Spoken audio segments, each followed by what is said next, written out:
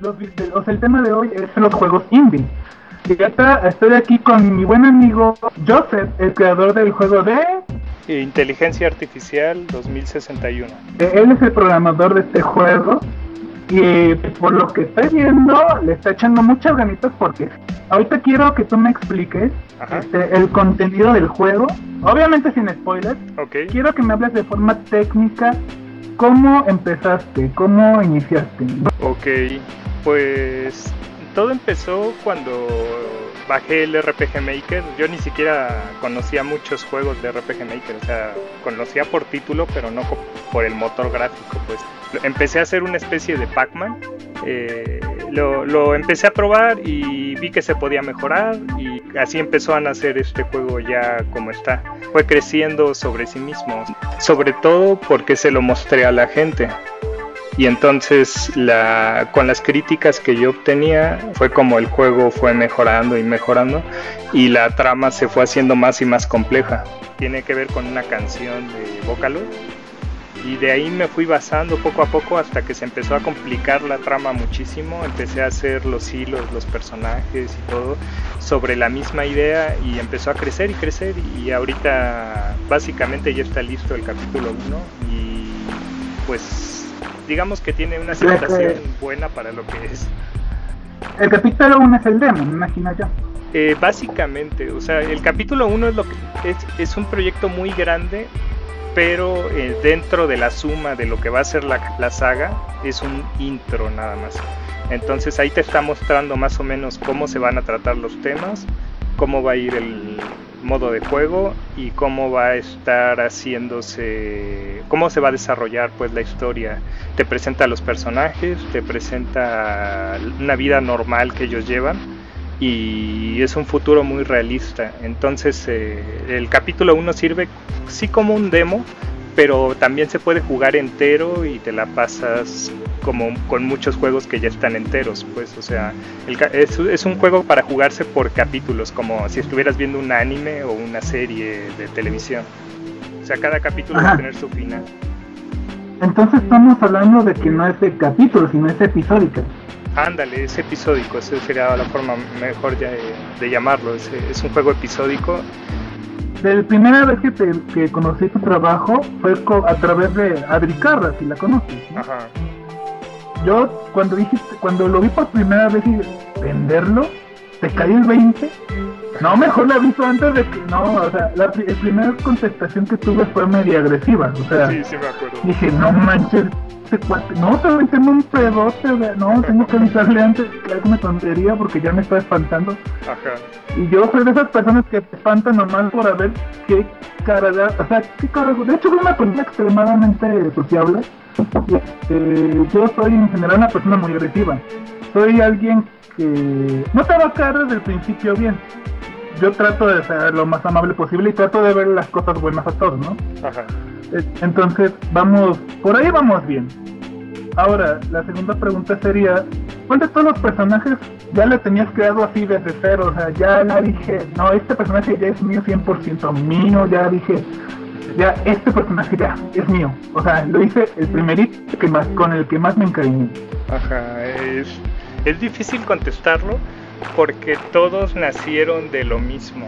O sea, eh, obviamente la protagonista, que básicamente es Miku y que sigue la historia de varias canciones de Miku durante el juego, fue la, la que inició todo. O sea, la trama se basó en ella, que es Aika pero con el tiempo se fueron creando los demás personajes para rellenar la historia de ella y este, todos nacieron básicamente parejos. los protagonistas que tiene hasta ahorita son como un personaje es muy serio, el otro es eh, más, eh, más humano, pues, y los dos, eh, los padres del que crea Aika, o sea, cada personaje terminó teniendo una, una personalidad propia eh, muy diferente de los demás.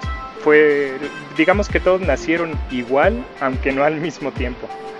Eh, pero definitivamente la consentida pues es Aika, ¿no? Es la que, la que creó todo a su alrededor. Ok, muy bien.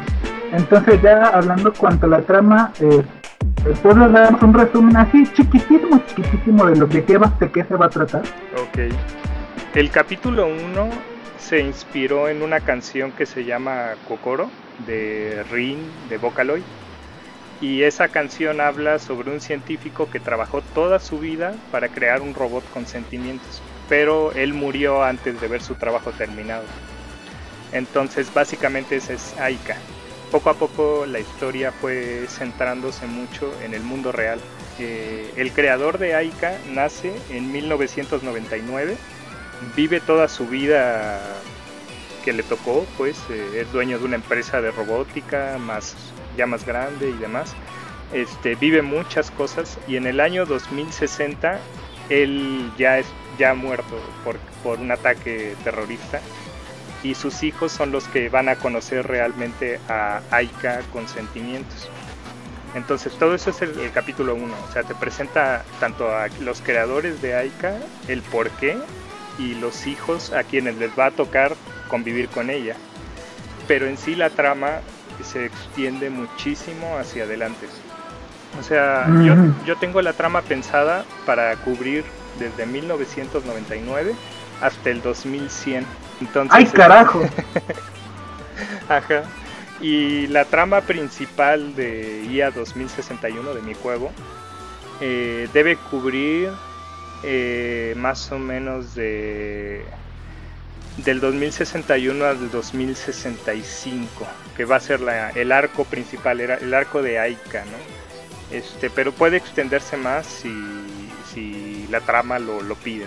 Todo esto es una historia sobre el futuro de la Tierra, un futuro realista y sobre cómo se va a proponer que se una convivencia entre humanos, robots inteligentes y cyborgs, que van a ser humanos ya robóticos. Eh, para darse una idea, puede uno ver la saga de Deus Ex y eh, es algo muy parecido lo que pasa un poquito antes de que aparezca Aika, o sea, humanos con partes robóticas, con aumentos en la mente, en el cuerpo y demás.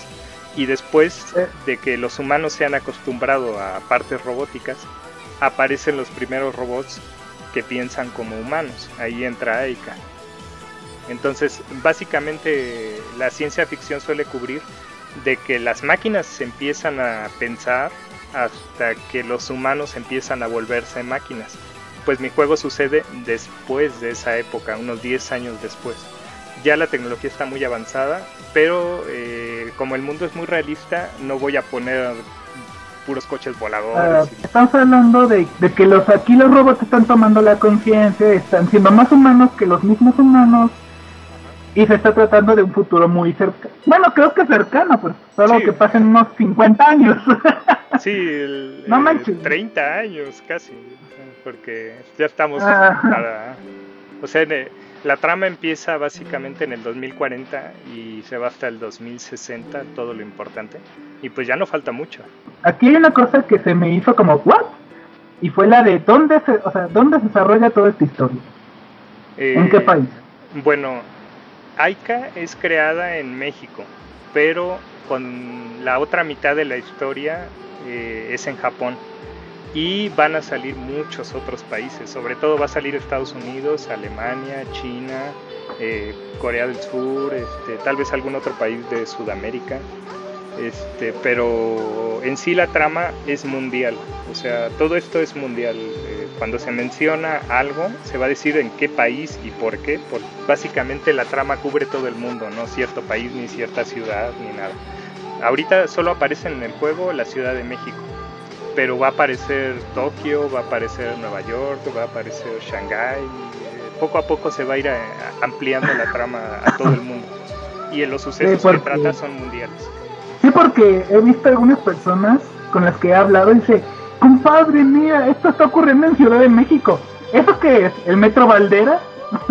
es que sí, sí lo, sí lo, confundimos todo el mundo con, es neta, es el internet o es el Metro Valdera. Ajá. No sabíamos realmente. De hecho, fíjate que ya que estás tocando ese tema de que Aika es de México, fíjate que no estaría mal de que Aika tuviera rasgos de México. O sea, no, no, no, no, obviamente no me refiero a que le, que le quites la piel, no, no, no. Me refiero a que tuviera algo que sea de México, ya sabes, vestimenta mexicana, cómo, cómo es ella, o sea, porque el traje de colegiala definitivamente no sé, no parece de México. Sí, lo que pasa es, por falta de recursos, no pude hacerlo en el capítulo 1. Pero cuando Aika despierte, eh, porque ella termina dormida al final casi del juego, eh, termina dormida, y para el capítulo 2 va a despertar. Y va a despertar con sentimientos. Ahorita ella es un producto, un robot eh, famoso hecho para bailar. Y por lo tanto no tiene una personalidad plástica.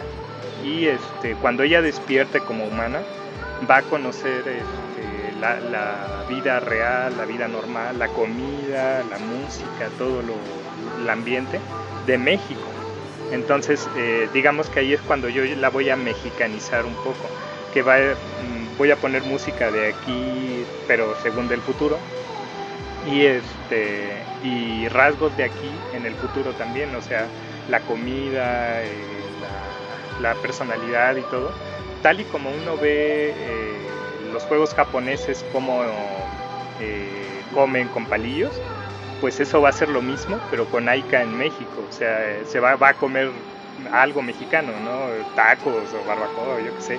Y este, ya tengo pensadas varias escenas esas, porque eh, Aika se va a identificar con México porque aquí la van a criar en su mayor parte.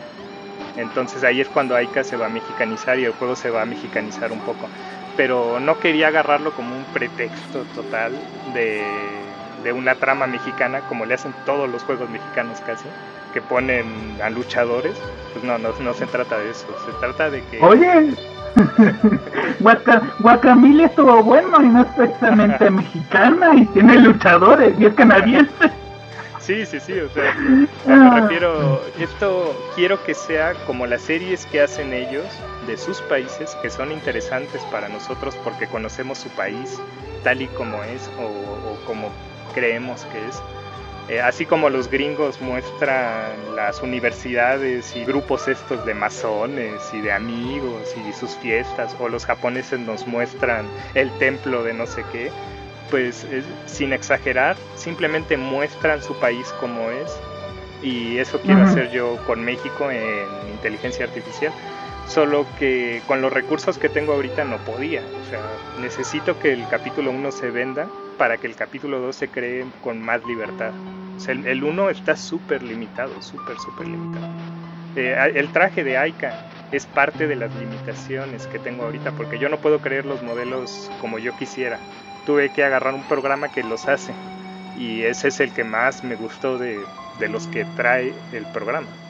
Entonces todo, todo, todo, está moldeado por las limitaciones, pero esas limitaciones deben ir desapareciendo en los siguientes capítulos y debe mostrarse mucho mejor la trama ya más suelta, pues los, los diseños y todo. Ajá. ¿No te has interesado por el arte 2D? Ya sabes, el anime tradicional. Pues fíjate que a mí me gusta mucho ese tipo de dibujos pero para la vida que yo le quiero dar a estos personajes necesito decenas o cientos de imágenes. Ahorita ya, así como está el juego, ya tiene 250 imágenes de expresiones.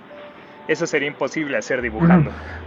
Entonces, este, quiero tener a los personajes en 3D, así como están ahorita, y en escenas especiales hacer dibujos. Entonces, una escena especial eh, que tenga un dibujo y que, te muestre todo con arte y todo así padrísimo, pero en sí los modelos que sean sencillos para que se puedan explotar y crear un montón de expresiones y poses y todo eso que les da vida a los personajes. Pero sí, sí va, el dibujo va a ser parte integral, pero también es caro. Entonces.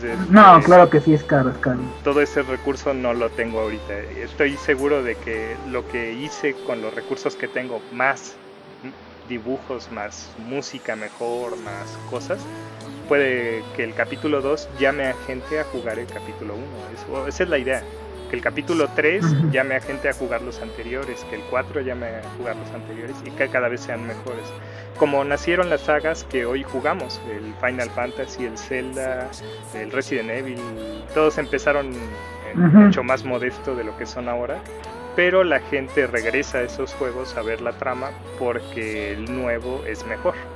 Entonces esa es la idea aquí, Ah, que, que sí. esto crezca poco a poco. Como dije, eh, las personas en general son gente un poquito quisquillosa Ajá. porque solo ven algo y si no les gusta lo que ve, pues no lo van a comprar. O sea, Ajá. yo te he dicho en uno de mis comentarios de que un videojuego que estés creando es tu carta de presentación. Todo lo que tú hagas en ese videojuego y lo que hayas programado, porque sí se ve que es una programación tremenda, o sea, Ajá. desde el principio me dejaste como pendejo y ¿what? No manches, cuánto le apregó este cuate porque hasta mi computadora se la guió y no sé qué mamá y media dije y No, sí, el- este, porque lo, lo que no se ve en este juego es muchísimo, o sea, está pulido, hasta las transiciones que hace, todo eso es código. Sí es un chingo de Mira, pero como dije, triste, o sea, eso solamente tristemente lo vamos a entender los ingenieros, los técnicos y los, y los programadores en general. Nosotros somos los que sufrimos más en esta área porque me imagino que tuviste que estarte sentado unas 100 horas enfrente de la computadora porque porque poner puro código es una pinche friega, como no tienes una idea. Sí, Lo digo porque casi, porque termina doliéndote la espalda estar sentado todo el tiempo. Y lamentablemente hay gente que pues no le va a interesar eso, a ellos no les interesa este, la programación que hay detrás, a ellos les interesa el producto final. Entonces, como siempre he dicho, aunque se escuche mal, aunque se escuche feo, la el programa, se- o sea, estoy viendo el juego desde aquí bastante tiempo y la neta sí se ve súper bien programado, pero sí hay una otra que otra consistencia, porque a veces, ahorita estoy viendo el video claramente, o sea, y estoy viendo a la protagonista hablar y está muy muy cerca de la pantalla y después, uff, muy muy atrás, muy lejos, y Ajá. pues eso es una falta de consistencia. Entonces, este, pues es normal, es un error que muchos cualquiera cometen, créeme, yo he cometido los mismos errores, hasta he cometido desprecios, pero como dije, eh, aún el juego parece que le faltan algunos detalles, porque, o sea, por mí, por mí pasa bastante bien, porque te estoy conociendo y estoy viendo que el juego funciona de maravilla, Ajá. y este, pero sí se ve que hay mucho texto aún, y el juego tiene que ser un poquito más dinámico, es un error muy común que he visto mucho en las programaciones, hay mucho texto. Este, aún así, este, hay que hacerlo un poquito más dinámico y eso es lo que eso es lo que va a hacer vender el juego. Sí, este, ahorita la siguiente versión va a estar muy cambiada. Eh, lo único que tengo es el demo, pero la, la siguiente versión tiene mucho menos texto. Lo tiene en colores diferentes para que no tengas que leer el nombre, sino que si el texto es azul es porque lo dice Aika. Ujú. Si el texto es naranja es porque lo dice Santiago y así. Entonces, con el texto de colores se reduce mucho la fatiga de leer, más que estoy quitando texto mucho. Eh, De hecho, una escena se va a ir casi completa, porque la voy a reemplazar. Es, y lo de las caras, yo hice primero las expresiones y luego las inserté al juego, entonces quedó un poco extraño. Pero ya teniendo la versión final, puedo corregir las que se salen de cuadro o las que están mal. Eh, es muy rápido, digamos, eso es cuestión de, de un día o dos días de, de hacer imágenes y ya. Y yo creo que el mayor problema está en que tuve que agregar todo ese texto porque la versión de Adricarra estaba muy, muy vacía. Estaba muy cargado de texto. Bueno, no, esa es la vacía. O sea, tenía mucho texto que se repetía. Y ahora tiene mucho texto, pero que te cuenta una historia muy grande. Antes era puro texto que no servía para tanto. Y ahorita ya te cuenta los, lo- No sé si has jugado la versión después de Adricarra. Este, porque es- Este, es, muy diferente. no he tenido el chance, pero un día de esto sí me lo voy a descargar para ver qué onda. Ajá. Ahorita tuve algunas cosas que hacer. Es que tengo una vida más allá de la computadora. Sí. Perdón. este, lo voy a tomar mucho en cuenta si lo voy a hacer. La versión nueva eh, ahorita tiene demasiado texto, pero es texto que te cuenta una historia gigantesca. Cuando Adricarra lo jugó, es- dijo, es que el juego no le falta historia, ¿no? O sea, se quedó como diciendo, pero cuéntame más qué pasa, ¿no? Entonces yo creé la historia de todo cómo se genera Aika y por qué y todo lo que pasa en medio, pero terminó siendo ahora sí demasiado texto y lo estoy reduciendo para la siguiente versión que va a salir. Definitivamente el juego no es para alguien que no le gusta leer porque le va a cansar, ¿no? Este, mi juego está enfocado a alguien que busca una historia, una nueva IP, un personaje. Y no, no, tanto que busca puzzles, porque el juego no tiene puzzles. O sea, bueno, tiene, pero están son parte de la jugabilidad, son, son un poco extraños. La gente no los va a notar, digamos, pero los está haciendo. Simplemente el avanzar es un puzzle, pero pues eso es técnico. lo que la gente va a ver es que te cuentan una historia y te dejan jugar entre escenas. Y obviamente no es para el gusto de todos, al menos no el capítulo 1. Pero es lo que puedo hacer, o sea, no, no, hay más, no hay más recursos, no hay más tiempo, no hay más dinero. Entonces, este, ya ahí se queda pero cuando este salga a la venta, por muy poquito que venda, como soy el único que lo hizo, entonces todas las ganancias van a hacer el capítulo 2 y ese debe quedar mucho mejor porque ya voy a contratar gente, ya voy a tener ayudantes que me hagan mapas, que me hagan... Sí, pues ese... Ya sé. Ahorita lo he estado haciendo todo yo, o sea, cada pixel que ves en el juego, lo más seguro es que lo haya hecho yo y pues sí es muchísimo trabajo sobre todo la, la nueva versión, la vas a ver y te vas a quedar, wow, tiene cinco veces más escenas que antes, o sea, es gigante. Y la historia ah. espero que compense el tiempo de juego. Sí, o sea, o estoy viendo, estoy viendo el video, hasta tiene opciones entre escenas, o sea, está genial, se ve bueno. Pero ahora tengo la duda del quién es el antagonista. Eh, es un poco difícil de explicar porque es el mundo real. En el mundo de hoy, así como están las cosas, ¿quién es el villano? ¿No? ¿Es, Peña o es Trump o es eh, el de Corea del Norte? ¿Quién es el villano? ¿no? O sea, cada uno está viendo por sus intereses. Hasta los terroristas de ISIS ven por sus intereses y nadie se considera el villano de la historia de alguien más. ¿no? Todos se consideran el héroe. Entonces, este, eh, así se va a tratar el juego. El juego este, tiene un villano, digamos, pero ese villano es una computadora que funciona bien, pero que está mal hecha. O sea, no, no va a enloquecer como el Terminator. Eh, no, o sea, no, no va a ser un Skynet de Terminator. Es una computadora de gobierno que gobierna muy bien, pero que rompe un poco el mundo con tal de buscar prosperidad económica. Entonces la trama va a ser muy compleja. Yo le estoy apuntando más a una trama tipo Ghost in the Shell que a una trama de héroes común en la que hay un malo y un bueno y se pelean, no.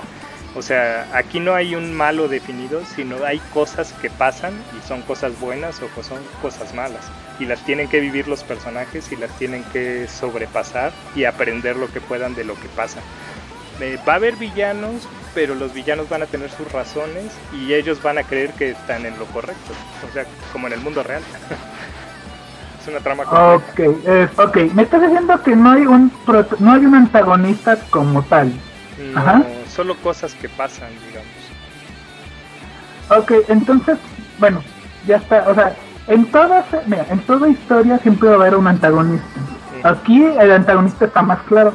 El antagonista es la misma sociedad. Exacto. O sea, es la misma, o sea, tú estás tomando en contexto social a la sociedad america, este, latinoamericana. Ajá. Porque lo que me estás escribiendo tú son a los latinoamericanos. Fíjate que a los, en general, generalmente a los latinos no les interesa mucho la política, no les interesa a ver si hago esto, a ver quién le afecte, a quién no. Este, ellos viven para sobrevivir. Entonces, lo más probable es que Aika se pueda meter en problemas, nomás porque otro individuo hizo algo a lo que ella iba a continuar y este mismo individuo, sin saberlo, le puede perjudicar a ella. Sí, o sea, la, la trama es realista, entonces como en el mundo real va a haber días que te vaya muy bien y días que te vaya muy mal, o días que te cruces con alguien peligroso, o días que conozcas a alguien muy importante. ¿no? La, la trama del juego va a ser cómo viven en el futuro y los problemas que va a haber en el futuro y después proponer una solución a esos problemas. Pues sí, pues, o sea, sí, de hecho eso ya sería, o sea, lo que suena, lo que suena que me está diciendo, sí, pasa realista, y va a ser en un futuro, entonces ya no estamos hablando. Es que estoy viendo el juego como si fuera una utopía. Pero siendo muy realista, ya sería una distopía. Exactamente, es la distopía. Incluso así lo mencionan los personajes, porque sí, todo parece perfecto, pero en realidad hay cosas que están muy mal y que siguen pasando por debajo, digamos, y la gente no lo ha arreglado. Y aún hay eh, terrorismo, aún hay pequeñas guerras, aún hay riesgo de cosas, o sea, hackers, es un mundo que parece que funciona bien, pero cuando tú estás ahí pues, te vas a dar cuenta de que hay cosas muy pesadas. Sí, o sea, va a tocar todo eso que tiene que ver con el gobierno, el comportamiento social, pero solamente en general a latinoamericana. Los latinos no más. No, va a ser todo el mundo. O sea, yo ahorita estoy apelando a lo que conozco de otras culturas para incluirlo. O sea, ahorita ya se habla de la cultura japonesa, por ejemplo, como realmente es, no como uno ve en el anime. Entonces, de este, hecho, lo que yo tengo entendido de los japoneses es que a pesar de ser este, extremadamente disciplinados, también son excelentemente racistas, son muy racistas los japoneses. Sí, También son muy, son bastante indiferentes, pero eso sí, una sociedad pulcra en todo el sentido de la palabra, Exacto. Este, pero también cuando están en su casa son unos niñotes enormes. Yo te lo digo por experiencia porque yo, ah, yo fui una vez a Japón. Fue hace mucho tiempo, creo que tenía como entre unos 15 o 10 años, 15, 14 años. Estaba niño. Y no manches, las calles parecían pasillos de una casa. O sea, estaban tan angostas, pero había un respeto, había una tranquilidad de esas que pues pues qué o sea, no sé, estoy acostumbrado a ver a la, a la señora de la esquina gritando, tortillitas a la esquina, y pues como que se siente, se siente raro. Ajá. Este, un allá si te das cuenta, no te, si pide, ahí no te saludan ni siquiera de la mano, o sea, allá no te dicen buenos días. Ajá. Aquí sí. O sea, si tú saludas diciendo buenos días, ellos te responden muy buenos días, ¿cómo está usted? Allá hablan de usted, allá no allá te pueden ver hasta un poquito raro. O sea, creo que hasta dicen que la cultura japonesa hasta tiene satanizado que un hombre agarre a una mujer de la mano. Sí. De ahí existe la famosa tradición del, del paraguas, que es la única excusa de compartir el paraguas para estar agarrando la mano de tu compañera. Exacto. O sea, así de, así de cerrados son los japoneses. Así que, si tú tienes perfectamente lo cual es la la cultura japonesa, entonces vas por buen camino. Pero te tienes que te tienes que enriquecer más de todo lo que se mundo. Te tienes que saber cómo, cómo habla. Sí, ver lo que es una muletilla, ¿no? Eh, no necesariamente, pero sí van a tener cada uno su forma de decir las cosas, digamos. Expresarse. Ajá. De que, no manches, güey, está acabando lo que está ocurriendo. La palabra, las palabras muletillas son, no manches, y cabrón, o decía, ay, güey, cállate, que no. Es que una vez le dije esto a una señora de Veracruz y que, ay, no, señora, cállate, que que, que Morelia está carajo y no sé qué. Y, ¿me estás, me estás haciendo que me calles? ¿Me estás callando? No, señora, es que la palabra callar no se utiliza como una orden, es una muletilla, es una forma de expresión. O que te oye amigo, fíjate que yo no soy tu amigo, güey ya sé que no sé, ya sé que no eres mi amigo, pero te estoy hablando como amigo nomás, no, porque te, quiero, güey. O sea, solo te quiero hablar, pero yo no soy tu amigo. Sí, pues, pero amigo lo digo siempre, no se, no se enoje mi amigo. Pues. Sí, y esos problemas son muy comunes entre gente de diferentes países. Y eso se va a notar en el juego. aunque ahorita los protagonistas son gente que ha vivido en México y en Japón, los demás personajes que salgan van a tener esos problemas de, comunicación o de entenderse porque no van a saber, eh, bueno, va a haber malentendidos pues por la diferencia cultural.